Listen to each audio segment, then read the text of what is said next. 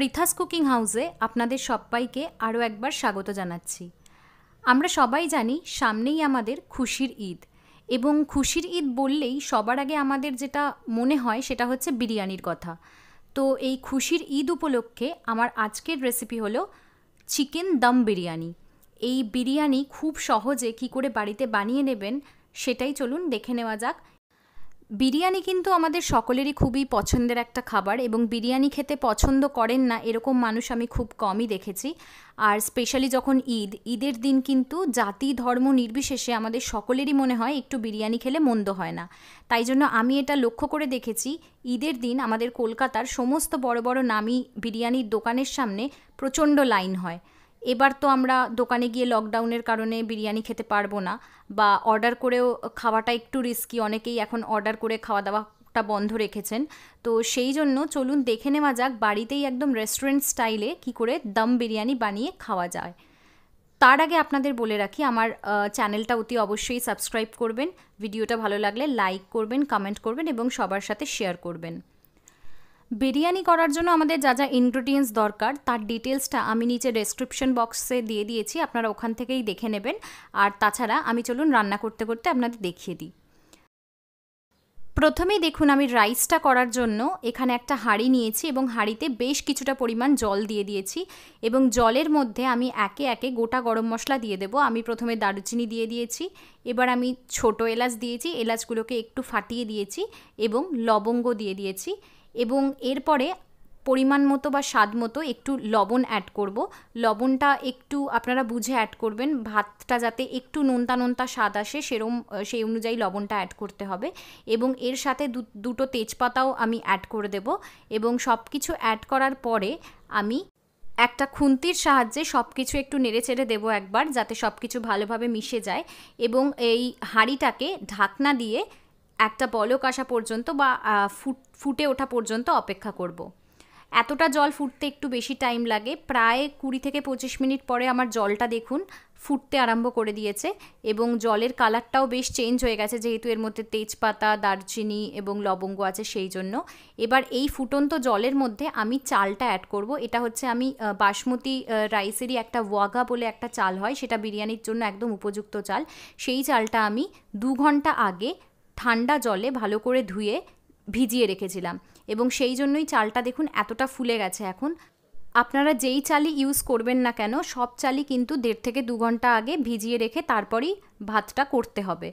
পুরোটা চাল আমি ভালো করে জলের মধ্যে অ্যাড করে দেব এবং তারপরে যখন আমার চালগুলো দেখব আমি হালকা হালকা ফুটতে আরম্ভ করেছে, তখন আমি এই ফুটন্ত জল এবং চালের মধ্যে একটুখানি লেবু চিপে লেবুর রস দিয়ে দেবো। এই লেবুর রস দিলে কি হয়? চালগুলো ফুটে যায়, ভালো করে নরম হয়ে যায়, কিন্তু চালগুলো ভেঙে যায় না। সেই জন্যই এই লেবুর রসটা দেওয়া, যাতে চালগুলো ভেঙে না যায় এবং গোটা গোটা থাকে। এবার লেবুর রস অ্যাড করার পরে আমি এই চালটার মধ্যে একটুখানি ঠান্ডা জল অ্যাড করব। আমার হাতে যেহেতু লেবুর রস লেগেছিল, সেই জন্য আমি আমার হাত ধোয়া জলটাও এর মধ্যে দিলাম যাতে লেবুর রস আরও কিছুটা এর মধ্যে যায়।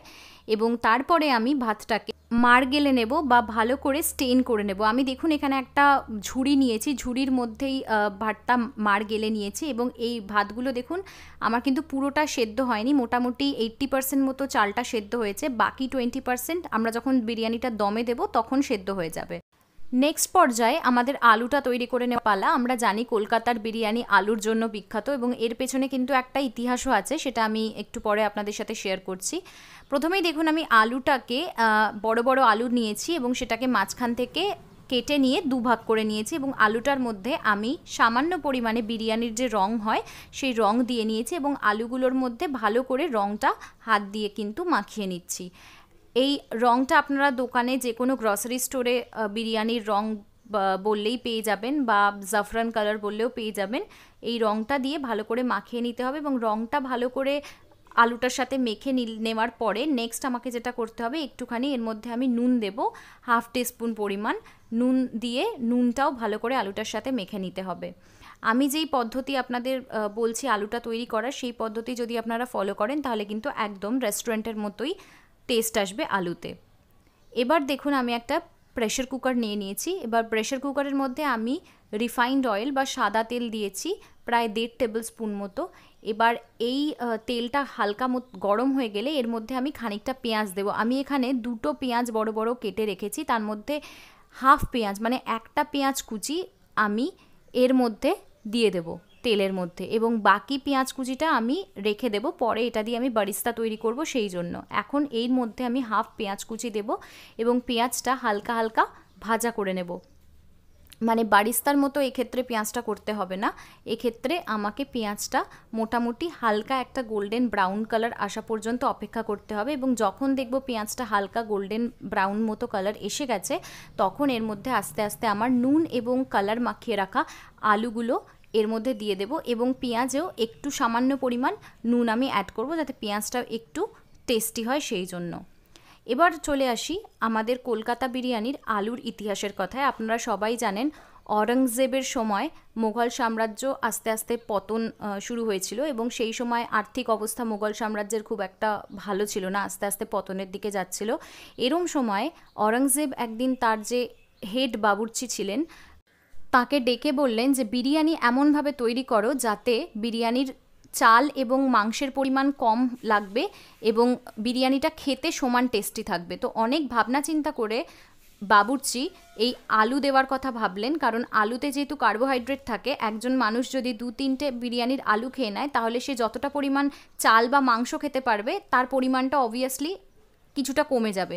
তো এইভাবেই কিন্তু বিরিয়ানিতে আলুর প্রচলন হয়েছে কলকাতা বিরিয়ানিতে। এবং তারপর থেকে এটা চলছে। এবার দেখুন, পাঁচ মিনিট মতো আমার আলুগুলো মোটামুটি আমি ভেজে নিয়েছি পেঁয়াজের সাথে এবং তারপরে আমি প্রেশার কুকারের মধ্যে একটু জল দিয়ে দিয়েছি। মানে প্রায় ওয়ান ফোর্থ কাপ জল দিয়েছি এবং তার মধ্যে আমি ওয়ান টিস্পুন গোলাপ জল এবং ওয়ান টিস্পুন কেওড়ার জলও দিয়েছি এবং একটু লঙ্কার গুঁড়োও দিয়েছি। এই জলটা দিয়ে প্রেশারে আমি মোটামুটি সাত থেকে আটটা সিটি দিয়েছি এবং দেখুন সাত আটটা সিটি দেওয়ার পরে আমার আলুগুলো কিন্তু নরম হয়ে গেছে এবং সেদ্ধ হয়ে গেছে ভালো মতো। কিন্তু একটা জিনিস লক্ষ্য করুন যে, আমার আলুগুলো সেদ্ধ হয়ে গেলেও প্রেশারে কিন্তু এখনও বেশ কিছুটা পরিমাণ জল আছে। এবার গ্যাসটাকে অন করে আমাকে এই জলটা একটুখানি মারিয়ে নিতে হবে মানে জলটা একটুখানি শুকিয়ে নিতে হবে। এখন পাঁচ মিনিট হাই ফ্লেমে রান্না করার পর আমার আলু থেকে কিন্তু যেই জল, এক্সট্রা পরিমাণ জলটা ছিল, সেই জলটা কিন্তু পুরো শুকিয়ে গেছে এবং এরম অবস্থায় আমার আলু কিন্তু একদম রেডি। আলু রেডি হয়ে গেছে, চাল রেডি হয়ে গেছে, এবার আমাদের মাংসটা রেডি করার পালা। তো মাংস রেডি করার আগে আপনাদের একবার মনে করিয়ে দিই। আমার এই ভিডিওটা ভালো লাগলে অবশ্যই লাইক করবেন, ভিডিওতে কমেন্ট করবেন এবং ভিডিওটা সবার সাথে শেয়ার করে সবাইকে রেসিপিটা জানার সুযোগ করে দেবেন। আর আমার চ্যানেলকে যদি এখনও সাবস্ক্রাইব করে না থাকেন, তাহলে প্লিজ সাবস্ক্রাইব করে দেবেন। চলুন এবার তাহলে দেখা যাক আমরা মাংসটা কীভাবে করব। আমি এখানে সাতশো গ্রাম চিকেন নিয়ে নিয়েছি। এবং চিকেনগুলোকে ভালো করে ধুয়ে পরিষ্কার করে নিয়েছি, দেখুন। এবার এই চিকেনগুলোকে আমাকে তৈরি করতে হবে। তার জন্য আমি একটা কড়াই নিয়েছি এবং কড়াইতে বেশ কিছুটা পরিমাণ তেল নিয়েছি।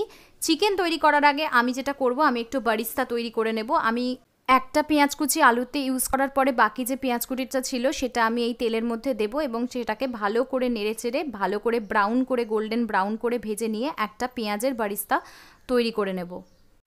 দেখুন, আমার বারিস্তা তৈরি হয়ে গেছে এবং এবার আমি পেঁয়াজগুলোকে বা বারিস্তাগুলোকে তেল থেকে ভালো করে ছেঁকে তুলে নেব। এবার আমরা ওই সেম তেলের মধ্যে যে আমার ধুয়ে পরিষ্কার করে রাখা চিকেনগুলো আছে, সেই চিকেনগুলো তেলের মধ্যে দিয়ে নেব এবং চিকেনগুলো দিয়ে নেওয়ার পরে সব চিকেনগুলো যাতে সমানভাবে তেল পায়, সেই জন্য খানিকটা আমাকে নাড়াচাড়া করে নিতে হবে। এবং তারপরে আমরা চিকেনের মধ্যে অ্যাড করব পরিমাণ মতো বা স্বাদ মতো লবণ। যেহেতু রাইসের মধ্যে আমার কিছুটা পরিমাণ লবণ অলরেডি দেওয়া ছিল, সেই জন্য এখানে চিকেনের মধ্যে কিন্তু বুঝে লবণটা দিতে হবে যাতে নুন বা লবণ বেশি পরিমাণে না দেওয়া হয়, সেদিকে আমাকে খেয়াল রাখতে হবে। লবণটা দিয়ে কিছুটা নাড়াচাড়া করে নেওয়ার পর দেখুন, চিকেনের আমার কালারটা কিন্তু আস্তে আস্তে চেঞ্জ হওয়া স্টার্ট করেছে। এবার এইরম অবস্থায় আমি আদা বাটা এবং রসুন বাটা চিকেনের মধ্যে দেব।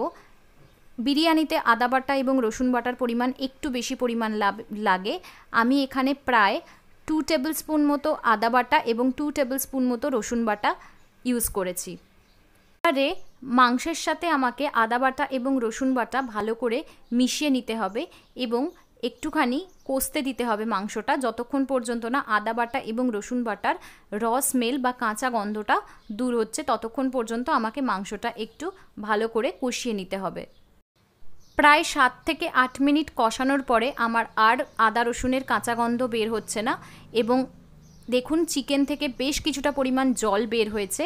এবার এই সময় আমাকে চিকেনের মধ্যে অ্যাড করতে হবে আলু বোকরা এবং লঙ্কার গুঁড়ো। আলু বোকরাটা কিন্তু খুব একটা ইম্পর্টেন্ট জিনিস মানে প্রপার বিরিয়ানির যে টেস্টটা সেটা কিন্তু আলু বোকরা না দিলে অতটা আসে না। তাই একদম প্রপার রেস্টুরেন্ট স্টাইলে বিরিয়ানির টেস্ট আনার জন্য আমাকে কিন্তু আলু বোকরা অবশ্যই করে অ্যাড করতে হবে। এবং আলু বোকরা অ্যাড করার পরিমাণটা বলে দিই, আমি এখানে যে পরিমাণে বিরিয়ানিটা করছি, তাতে আমার তিনটে আলু বোকরা লাগবে। আপনারা এর থেকে বেশি পরিমাণে করলে সেক্ষেত্রে আপনাদের চারটে বা পাঁচটাও লাগতে পারে। আলু বোকরাটা দিয়ে ভালো করে মিশিয়ে দিতে হবে, কারণ আলু বোকরার ভেতরে একটা বীজ বা দানা থাকে। আলু বোকরাটা যখন গলে যায়, তখন ওই বীজ বা দানাটা বেরিয়ে যায়। সেটা বিরিয়ানিতে থাকলে অসুবিধা নেই। অনেক সময় দেখবেন রেস্টুরেন্টে খেতে গেলেও আলু বোকরার বীজ আমাদের বিরিয়ানির মধ্যে কিন্তু পড়ে। কিন্তু আলু বোকরাটা ভালোভাবে মিশে গলে যাওয়াটা ইম্পর্টেন্ট এরপরে আমরা এর মধ্যে একটু পরিমাণ লঙ্কার গুঁড়ো অ্যাড করেছি। লঙ্কার গুঁড়ো অ্যাড করেও মাংসের সাথে কিন্তু লঙ্কার গুঁড়োটাও ভালো করে আমাকে মিশিয়ে দিতে হবে। আলু বোকরা এবং লঙ্কার গুঁড়ো দিয়ে কষানোর ঠিক পাঁচ সাত মিনিট পর দেখুন আমার মাংসটা থেকে একটা হালকা তেল ছেড়েছে এবং এরম অবস্থায় আমাকে এক কাপ পরিমাণ টক দই কিন্তু এই মাংসটার মধ্যে অ্যাড করতে হবে এবং খানিকটা পরিমাণ বিরিয়ানির মশলা অ্যাড করতে হবে। বিরিয়ানির মশলা আমি এখানে কোনো রেডিমেড মশলা ইউজ করছি না। রেডিমেড মশলা আপনারা চাইলে ইউজ করতে পারেন। কিন্তু বিরিয়ানির প্রপার টেস্ট আসে যদি আপনারা দোকান থেকে যে গোটা মশলাগুলো পাওয়া যায়, সেগুলো যদি কিনে এনে বাড়িতে মিক্সিতে গ্রাইন্ড করে নেন, তাহলে কিন্তু বিরিয়ানির টেস্টটা আরও বেশি ভালো হয়। আর এই বিরিয়ানির গোটা মশলা, যে কোনো গ্রসারি স্টোরে গিয়ে বিরিয়ানির গোটা মশলা চাইলেই ওরা পরিমাণ মতো দিয়ে দেবে। এবার মাংসটা আমি এরম অবস্থায় সেদ্ধ করতে দেবো এবং কষতে দেবো। আর আমি এখানে আরেকটা মিশ্রণ তৈরি করে নেব। আমি এখানে হাফ কাপ পরিমাণ দুধ নিয়েছি। তার মধ্যে আমি দু ড্রপ মতো মিঠা আতর দেব। মিঠা আতর কিন্তু বেশি দিলে একটা উগ্র গন্ধ হয়ে যায় বিরিয়ানিতে, তাই দু ড্রপের বেশি দেবেন না। আর আমি এখানে হাফ টেবিল স্পুন করে গোলাপ জল, হাফ টেবিল টেবিল স্পুন করে কেওড়ার জল এবং দিয়েছি জাফরান বা কেশর। আর দিয়েছি একটু সামান্য বিরিয়ানির কালার। দিয়ে ওই মিশ্রণটা তৈরি করে রাখলাম। এতক্ষণে দেখুন প্রায় কুড়ি পঁচিশ মিনিট হয়ে গেছে এবং আমার মাংসটা ভালো মতো কষে গেছে এবং মাংস থেকে দেখুন তেল ছেড়েছে এবং মাংসটা আমি একটুখানি খুন্তি দিয়ে প্রেস করে দেখলাম, মাংসটা কিন্তু আমার ভালো মতো সেদ্ধও হয়ে গেছে। এরম অবস্থায় আমাকে বুঝে নিতে হবে যে আমার মাংস রান্না টোটালি কমপ্লিট। এবার আমরা নেক্সট পর্যায়ে চলে যাব। নেক্সট পর্যায়ে প্রথমেই আমরা যেটা করব, দেখুন এই মাংসটা থেকে আমার বেশ কিছুটা পরিমাণ তেল বেরিয়েছে। মাংসটা কষে গিয়ে সেই তেলটা আমি একটা হাঁড়ির মধ্যে দেখুন কিছুটা পরিমাণে নিয়ে নিচ্ছি। মানে আপনারা চাইলে অন্য কিছু ব্যবহার করতে পারেন হাঁড়ির বদলে। মানে যেখানে আপনারা দমে দেবেন বিরিয়ানিটা, যেই পাত্রে দমে বসাবেন সেই পাত্রের মধ্যে ওই তেল কিছুটা নিয়ে ভালো করে পাত্রের মধ্যে গ্রিস করে নেবেন বা পাত্রের চারিধারে লাগিয়ে নেবেন। এই তেল লাগানোর কারণ হলো যখন বিরিয়ানিটা আমরা দমে বসাবো, তখন যাতে চালগুলো তলা থেকে বা সাইড থেকে পাত্রের সঙ্গে লেগে না ধরে, সেই জন্য কিন্তু এই তেল মাখানোটা ভীষণভাবে ইম্পর্টেন্ট ভালো করে তেল চারিধারে লাগিয়ে নেওয়ার পরে এবার আমরা আস্তে আস্তে সব কিছু অ্যাসেম্বল করব। প্রথমেই আমি যে রাইসটা করে রেখেছিলাম, সেই রাইসটাতে কিছুটা পরিমাণ রাইস আমি দিয়ে দেব এই পাত্রের একদম তলায়। তারপরে আস্তে আস্তে কিছুটা পরিমাণ মাংস দেব, কিছুটা পরিমাণ আবার ভাত দেব, আবার কিছুটা পরিমাণ আলু দেব, আবার কিছুটা পরিমাণ পেঁয়াজ বারিস্তা দেব। এরমভাবে কিন্তু আমাকে পর্যায়ক্রমে এক বিরিয়ানির সব কিছুকে অ্যাসেম্বল করে নিতে হবে। ঠিক দেখুন, আমি যেরমভাবে করছি, প্রথমে আমি রাইস দিয়েছি, তারপর আমি বারিস্তা দিয়েছি, বারিস্তা দেওয়ার পরে আমি কিছুটা পরিমাণ বিরিয়ানির মশলা দেব, মশলা দেওয়ার পরে আবার কিছুটা পরিমাণ ভাত দেবো। এরকমভাবে আপনারা, এটার কোনো নিয়ম হয় না পার্টিকুলারলি আপনারা একটার পর একটা করেও করতে পারেন। মানে প্রথমে আপনারা, আমি যেরকম বারিস্তা দিয়েছি বারিস্তা না দিয়ে প্রথমে আপনারা মাংসও দিতে পারেন বা প্রথমে আপনারা আলুও দিতে পারেন। শুধু একটা জিনিস মাথায় রাখতে হবে যে, এটা একবারে সব দেবো না, কিছুটা পরিমাণ দেবো। যেরকম দেখুন, আমি মাংস দেওয়ার পরে কিছুটা পরিমাণ বিরিয়ানির মশলা দিলাম। তারপরে আবার কিছুটা পরিমাণ ভাত দিয়ে দেবো। আবার কিছুটা পরিমাণ ভাত দেওয়ার পরে আবার কিছুটা পরিমাণ আলু দেবো। এরমভাবে স্টেপ বাই স্টেপ আমাকে কিন্তু সব কিছুকে অ্যাসেম্বল করতে হবে। কোনো কিছুই একবারে বেশি পরিমাণ দেওয়া চলবে না। কিছুটা পরিমাণ ভাত, তারপর কিছুটা পরিমাণ আলু, তারপর কিছুটা আবার ভাত, তারপর আবার কিছুটা বারিস্তা, তারপর আবার বিরিয়ানির মশলা, কিছুটা আবার ভাত, আবার মাংস, এরমভাবে কিন্তু আমাকে একদম খুব ভালো করে পুরো ব্যাপারটাকে অ্যাসেম্বল করে নিতে হবে। সবটা আমার যখন ভালো করে অ্যাসেম্বল করা হয়ে যাবে তারপরে আমরা যেটা করব, যেই দুধের মিশ্রণটা আমি তৈরি করে রেখেছিলাম, গোলাপ জল, কেওড়া জল, জাফরান এবং আতর এবং একটুখানি বিরিয়ানির কালার দিয়ে, সেটা আমি আস্তে আস্তে এই পুরো অ্যাসেম্বলড যে রাইসটা আছে সেটার মধ্যে আমি সাইড থেকে একটু একটু ঢেলে দেব। পুরোটার মধ্যে ঢালবেন না, সাইড থেকেই ঢালবেন। পুরোটার মধ্যে ঢাললে কিন্তু পুরো ভাতটাই আমার হলুদ হয়ে যাবে। সেক্ষেত্রে বিরিয়ানির যে কিছুটা চাল সাদা থাকে, কিছুটা হলুদ থাকে, সেই কালারের মানে কম্বিনেশনটা আসবে না। সেই জন্য সাইড থেকেই করবেন যাতে কিছুটা পরিমাণ হোয়াইটিশ ভাবও থাকে। এবং তারপরে বিরিয়ানিটা হাঁড়িটা আমাকে গ্যাসে বসিয়ে একদম সিম আছে, দমে বসাতে হবে। আর আমি দেখুন হাঁড়িটার চারপাশ দিয়ে একটা তোয়ালে ভালো করে এমনভাবে দিয়ে দিয়েছি যাতে হাঁড়িটার বাইরে কোনো রকম কোনো তাপ বেরোতে না পারে এবং ভেপারে যাতে ভালো করে তৈরি হয়। মোটামুটি পনেরো কুড়ি মিনিট আমি এটা দমে বসিয়েছিলাম এবং পনেরো কুড়ি মিনিট পরে আমি দেখুন আস্তে আস্তে ঢাকনাটা সরিয়ে নিয়েছি এবং দেখুন আমার বিরিয়ানিটা কিন্তু ভালো মতো হয়ে গেছে। আমি একটা ছুরি দিয়ে একটুখানি দেখে নিচ্ছি বিরিয়ানিটার ভেতরে যে কোনো রকম কোনো আর যেহেতু আমরা দুধ দিয়েছিলাম, কোনো জল জলে ব্যাপার বা দুধের ব্যাপার, কোনো কাঁচা কাঁচা ব্যাপার আছে কিনা বা রাইসটাও ভালো করে সেদ্ধ হয়েছে কিনা সেটা আমাকে নেড়ে চেড়ে একটুখানি দেখে নিতে হবে। আমার পনেরো মিনিট পরে এটা দেখে মনে হচ্ছে যে বিরিয়ানিটা আমার একদম প্রপারলি হয়ে গেছে, কোনো জল জলে ভাব নেই বা দুধের কোনো কাঁচা অংশ নেই এবং এরম অবস্থায় আমার বিরিয়ানি যখন আমি বুঝব দম দেওয়া ভালো মতো হয়ে গেছে, আমি তখন বিরিয়ানিটা কিন্তু একটা সার্ভিং বলে তুলে নেব এবং বিরিয়ানি আমার এই অবস্থায় একদম রেডি আশা করি আপনাদের আমার এই বিরিয়ানির রেসিপিটা ভালো লেগেছে। ভিডিওটা ভালো লাগলে লাইক করবেন শেয়ার করবেন এবং কমেন্ট করবেন। আর আমার চ্যানেল এখনও সাবস্ক্রাইব করে না থাকলে প্লিজ সাবস্ক্রাইব করে দেবেন। তাহলে আজকের মতো সবাইকে অগ্রিম ঈদের শুভেচ্ছা জানিয়ে বিদায় নিচ্ছি। খুব শিগগির আবার হাজির হব নতুন একটা রেসিপি নিয়ে। টিল দেন আপনারা সবাই ভালো থাকবেন, সুস্থ থাকবেন এবং সবাইকে ভালো রাখবেন। বাই